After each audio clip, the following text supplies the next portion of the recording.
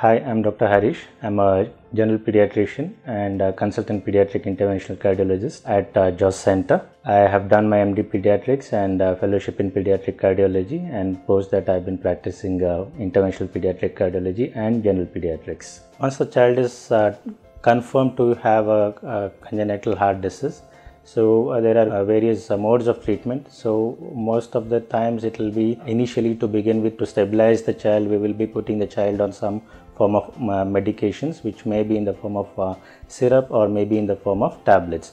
So in addition to that, this once the baseline of stability has been maintained, so there are actual uh, mode of treatment will be either surgical or a non-surgical uh, treatment. So this depends upon what kind of a heart problem is there, whether it is a very severe form or whether it is a milder form of uh, congenital heart disease. Based upon that, we will decide whether it has to be a surgical mode or whether it has to be a non-surgical treatment. So all this depends upon the underlying heart lesion.